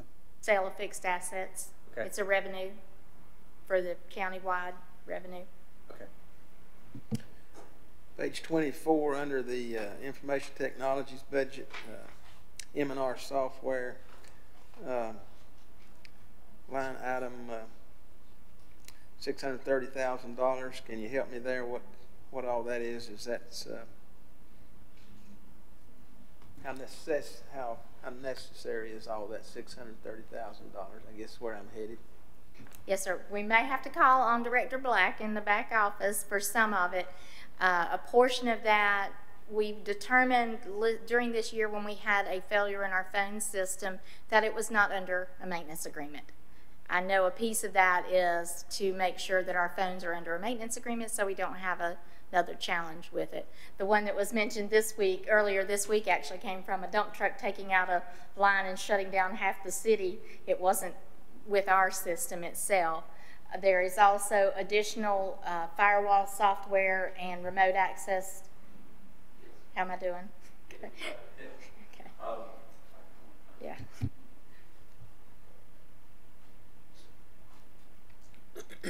So the, uh, the phone equipment is, uh, the equipment that interfaces with our AT&T service.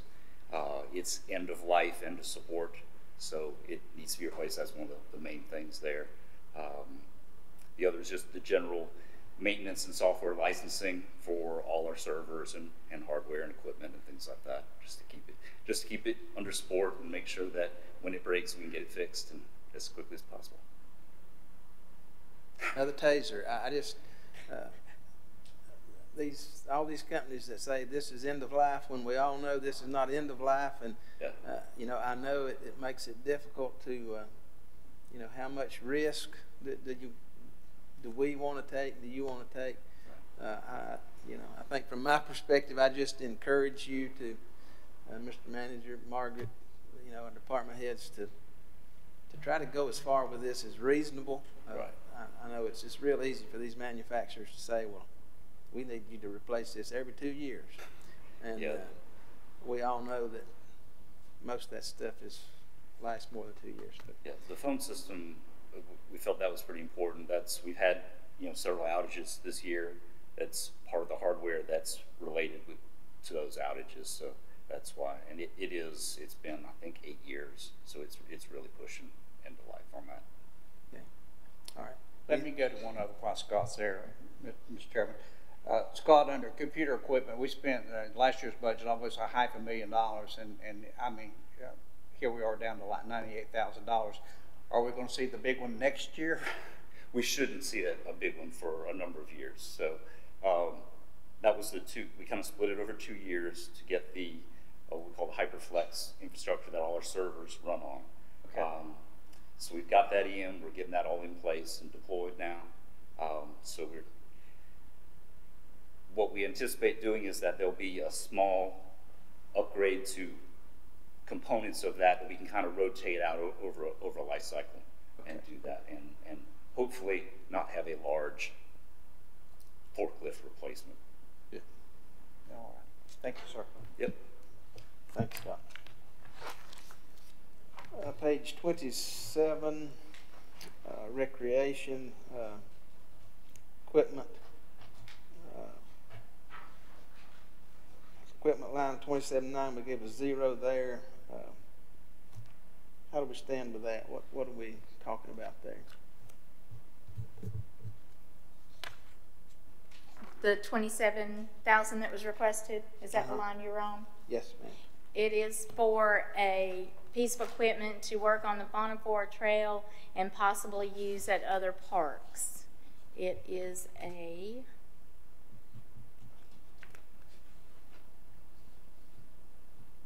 I should be more familiar with these being it's what my son-in-law does for a living, but I believe it's called a bulldozer. I'm trying to find the scanned piece of it. While you're looking at that, Mr. Manager, are we gonna have recreation continue to take care of that trail up there? Is that our intent?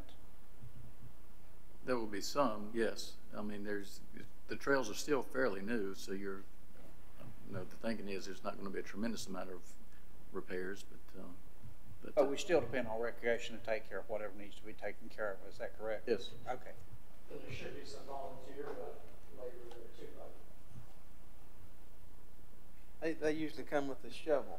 right? Yeah, yeah, um, Well, s- some of them are pretty dedicated, I'll tell you, uh, if you watch, watch them work. Yeah, I'm, I'm, I'm thinking this was probably something to work on those trails. uh, It says it's a open dozer blade quick coupler with a bucket.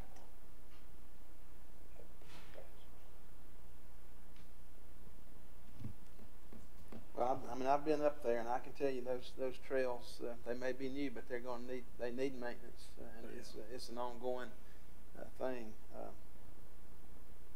I'd, I'd like to see us give them a little money for some equipment on on the trail. Uh, did, did, was there any discussion on that yesterday? No, did you talk to him about that piece of equipment, what he wanted to do with it? I didn't, I don't think I've had a direct call with, with Dreg. It would do maintenance work on the trails and then it, it would be used some for the parks as well. So it wouldn't only be used at the, up at the trails and it is something that he has a piece of equipment now that he can take up there and use. But it would certainly be very useful and this is a different piece of equipment than what he currently has. Was that twenty-seven nine all for one piece of equipment? Yes, sir. Yeah, That brings up another question on the trails. What about security or somebody, uh, a crime is committed? How do, how does the sheriff's department handle that? Like any other call, I would think. I mean, do they have the equipment to handle that? Banks runs in on foot, yelling all the way. I don't think that's gonna happen.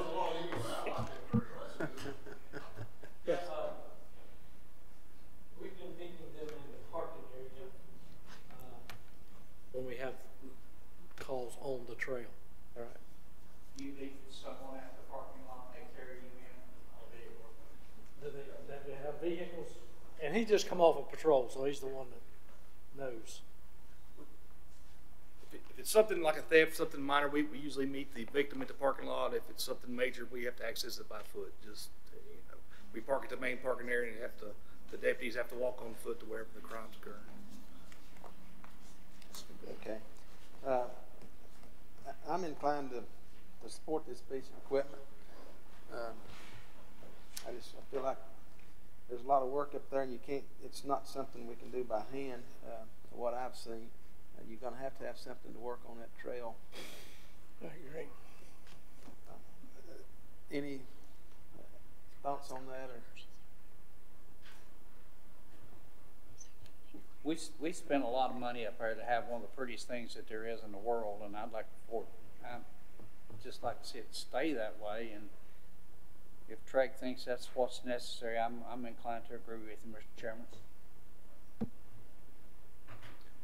Let's, let's put this item in. Everybody okay with that? Okay. Mr. Chairman, could, could I ask Margaret to go back and Brian to go back and talk with him about this piece of equipment and, and I want you two to be satisfied that this is probably the piece of equipment that's necessary. Get Shane involved and make sure this is the piece that we actually need to make sure he can get done what needs to get done. Will That be okay?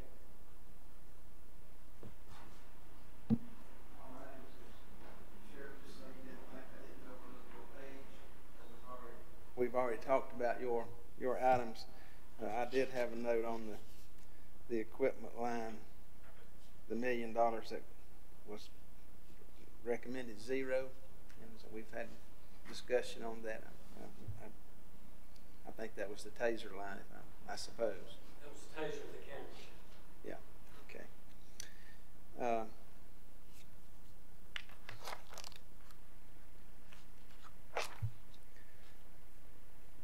Page thirty-four, uh, tax revaluation, contracted the reappraisal cost. I know we had a lot of discussion about this earlier, and, and it may, maybe I'm understanding this. um, Did we break that over two years? Is that what we've done with that, Margaret? Okay. We came, we talked to Danny and came up with a hybrid approach where we did one of the, he had asked about five employees and a contract when he originally talked with you. And in coming back and having a couple conversations, we did one employee in-house in his appraisal department and then did a portion of the contract and we'll do a portion of that contract to get us to the 2023 reval so that we can have as much of that done as possible and the hope is that all of it would be able to be accomplished by then because that's when we'll start seeing revenue from it. Okay, thank you.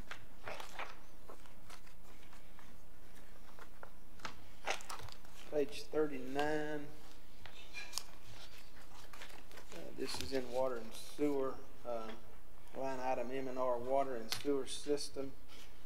Requested eight hundred eighty-five thousand dollars, recommended a hundred thousand dollars. Had to be taken to the emergency room. Yeah, it had to be taken to the emergency room. Thank you.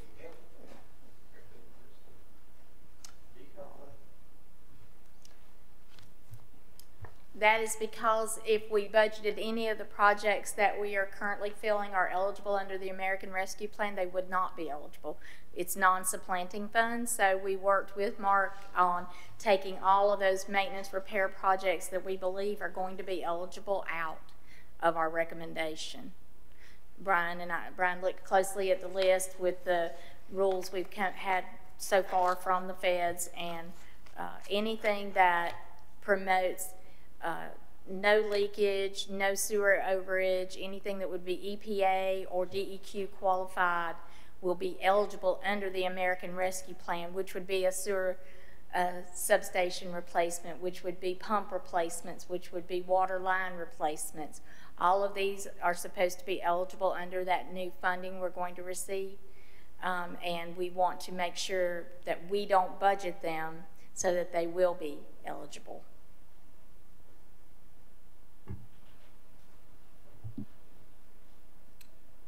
All right.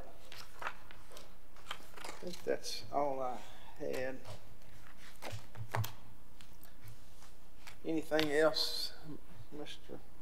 looks like it's me and you, Mr. Chairman. Uh, Margaret, I don't want to be a bore, but on page one and two, But before you go, let me Okay. just do one thing here, just in case there's a possibility. Um, It appears perhaps we, we've lost our quorum. Uh, There's no, no appearing about that. We have lost our quorum. Um, But I'm wondering if um, we might rattle Mr. Mulwee to see if he's anywhere in town to, that he could present himself, that it doesn't seem that we would need this meeting on June first, but we can't cancel it without a quorum. okay, okay. what I've got's not gonna, it's page one, two, and three, and I, I, for whatever reason, uh, in the, in the budget message, under where expenditures on page three, it's, uh, you're recommending one sixteen, two oh two, one twenty-five. If we, it says which is six million, five fifty, five sixty less than the one twenty-two, seventy. I subtracted those, Margaret, and that didn't come out the same number. I got six million. I just want the budget message to be right when it goes out. This one says it's five, the last three digits, five sixty. When I subtracted it out, it, the last three digits were eight fifty. When you take the one twenty-two minus the one sixteen, I, I, I know that's a little picky, but I want, somebody will see that and say something.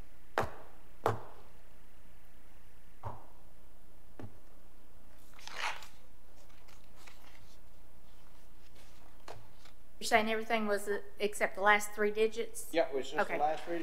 Thank Uh, you. The difference would be six million, five hundred and fifty thousand, eight hundred and fifty. It's just in the, in, in the budget message itself. Vice Chairman Mulwee needs about ten minutes and he'll be here. Okay. Mr. Manager, you got anything you'd like to report? Not at the moment. We're, like I said, waiting to see what we can get the final rules on the federal monies and, uh, want to make sure we're following those rules and they don't disallow anything. So we're, again, we've had good conversations with, uh, with Mark about the projects he's wanting to do and we believe need to be done. And, uh, just gotta wait. Um, we did, um, have a meeting, uh, yesterday with some of our judicial officials, talking to them about the possibility of something over there at the courthouse. Of course, these and other things would need to be discussed with the board before we get seriously down the road with any kind of discussion about, um, developing projects to use those funds for. Sheriff, I don't suppose uh, you've been notified of getting any uh, friendly COVID money, have you? I'm not aware of any. We have talked with Morgan about, uh, the, the. I haven't been, uh, notified personally about any. Uh, Margaret and, and the county manager and I have talked about the, hopefully an opportunity to get some monies and how that would impact, uh, the budget and, and how it impacted this budget about not putting it into the budget if we could give you an opportunity to get that. So hopefully we'll, we'll be able to use some of that uh, to fund some things that we can't fund now. A taser would keep you from putting your hands on somebody, wouldn't it, to some degree? I'll tell you one thing, they've got gloves now. Um, some, some sheriff's office and law enforcement will be moving away from tasers to, with gloves. Uh, at the sheriff's training conference uh, last month, it was pretty impressive uh, how effective these gloves are. But the difficulty is you have to be in close enough proximity to grab the person. But uh, I looked at them, especially for a jail setting where you are going hands-on with people. I presume that's some kind of electro. Yes. One thing, if- we go back just for a second, I, I, I run these numbers on item number two, uh, that we talked about, that they weren't adding up, and, and they do add up. Uh, six to eleven comes up to forty-six thousand five hundred and uh, that would leave thirty-four hundred thirty dollars, and, and the captain felt like that thirty-four hundred thirty dollars would not be sufficient to do the other things that we needed to do, so he's just asking for eight thousand dollars added to that fifty thousand to get what we, we needed to do, so I, this opportunity to clarify that. All right, thank you, Sheriff. Miss Margaret, anything from your end of the table? No, sir. Thank you for considering and taking the time you did to go through all these numbers.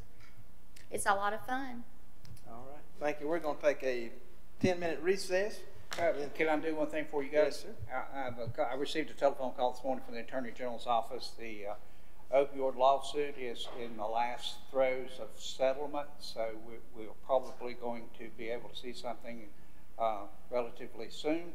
I think everyone is aware Burke County is, is subject to get a, a uh, good, good sum of money out of the lawsuit when it is settled. Uh, That, that sum of money will be, uh, there's a pretty broad brush as to what Brian can use it for, or the county itself can use it for. So it's definitely for opioid abatement processes, and uh, uh, everyone is, is well aware that we're still attempting to take the old jail and turn it into a a rehabilit, a long-term, long-term rehabilitation center. So it gives us encouragement that uh, there's even monies in, in Raleigh, but if we uh, get what we think we're going to get out of the lawsuit, it will, it will give us an avenue that we've never seen before to, to help in, in the, the treatment process. So that is some extremely, extremely good news to hear that that's probably going to occur uh, very soon. Thank you, sir. Thank you, Johnny. Let me just say on behalf of Commissioner Abele, uh, he had to leave abruptly. His wife's in the emergency room. So, uh, just be, note that so you don't think he just walked away. Uh, So we'll, sounds like Commissioner Moore is close by and, uh, maybe we can get him in here and uh, we will see if we can, uh, cancel the June first budget meeting since it appears we've discussed everything we need to discuss, so. All right, we'll take a ten-minute recess.